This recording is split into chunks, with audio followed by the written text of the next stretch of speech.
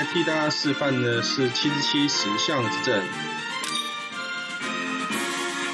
那这关我当初在打的时候，其实也是卡了蛮多次的。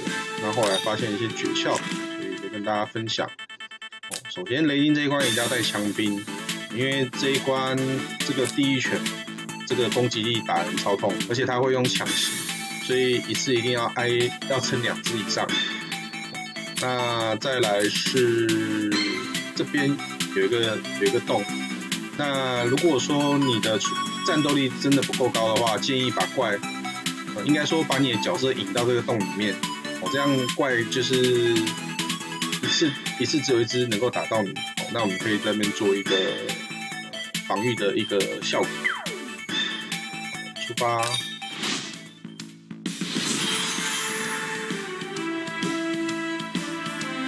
这个不用魔法阵可以不用急着按，待会会示范按的时机给大家看。哎，先放微光。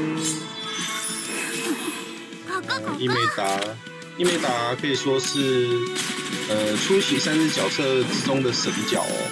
虽然它它一开始是一个 R 的卡片，我，但是他最后可以升到 SSR。那建议大家可以把它练起来，真的很好用。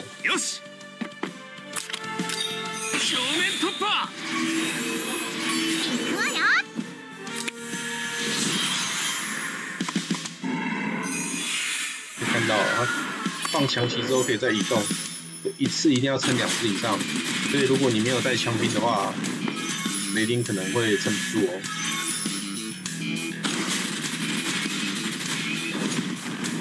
哦，那当然因为我这边等级已经练起来，所以很简单就把这个第一拳给收掉，那也是靠这个枪兵的。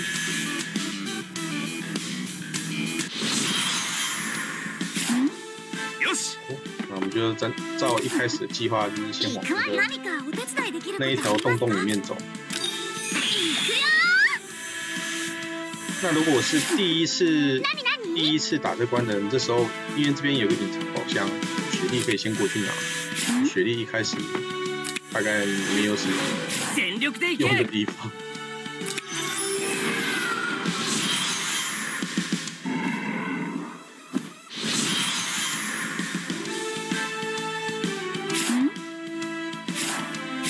力でいけ！よ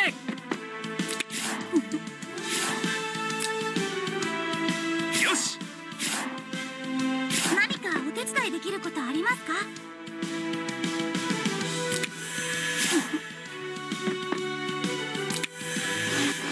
你可以移动到我要的位置。水力可以先去哪。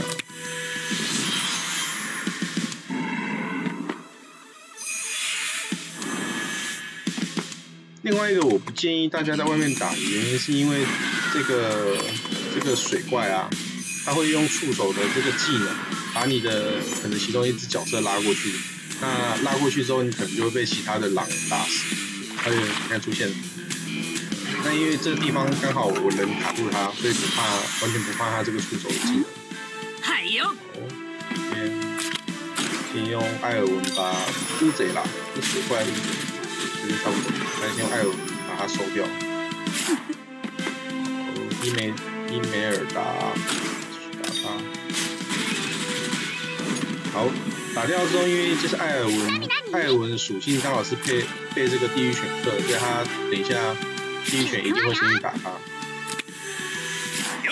这时候雷丁就是在这边放护卫。然后伊梅打就原地发呆就好了。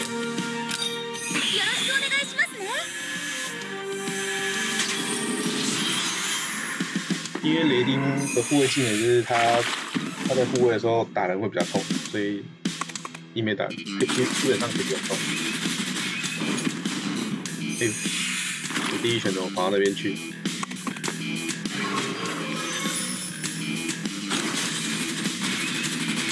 收头。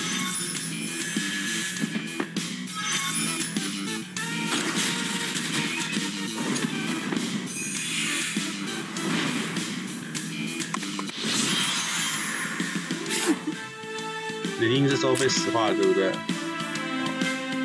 那为了，哎呦，好像我摸不到那那一只呢。好，没关系，反正保持原位。因为石化必须要站到魔法阵才可以解，所以雪莉还没有捡到这个隐藏宝物，他就得要回来了。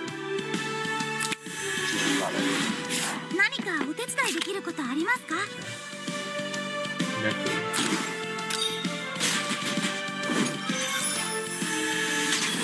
等下雷丁可能会暂时失去护卫的效果，不过还好，因为我刚刚艾尔文带的是枪兵，所以。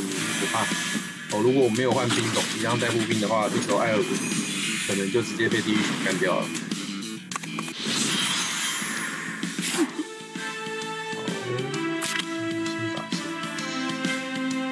先先把地狱犬干掉，然后让艾尔出去打那个石像。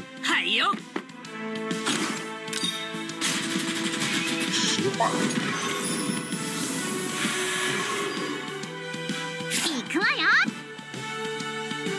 先把雷丁的那个解开，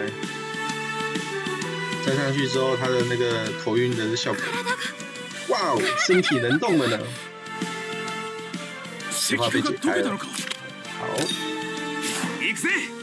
解开之后，先把石化魔干掉，然后这个因为它是不不死属性的，对伊美达来，呃，不是伊美达，艾美达来讲，刚好是一个相克。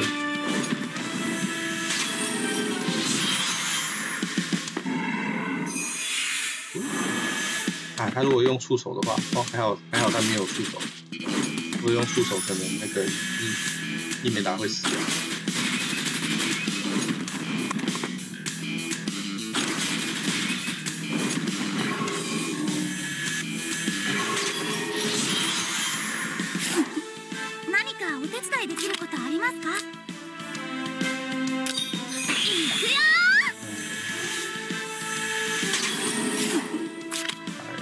因为十二回合通关，我还有一点时间哈，我我还还是一样先让他来拿这隐藏宝物。虽然我我其实可以不用让他来拿，我不差。嗯。先把一只打掉，避免夜长梦多。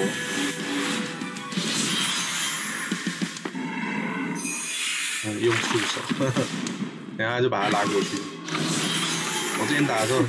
很长，因为用因为这一招，然后结果角色就被打死。好，就拿宝藏，但是因为我已经拿过了，所以它没有显示。那剩下就是把这只收掉啦。狗狗狗狗。艾米达。好，通关。蓝斯，蓝斯为什么在这里？啊，这是就是我们这次的通关影片示范，希望大家会喜欢。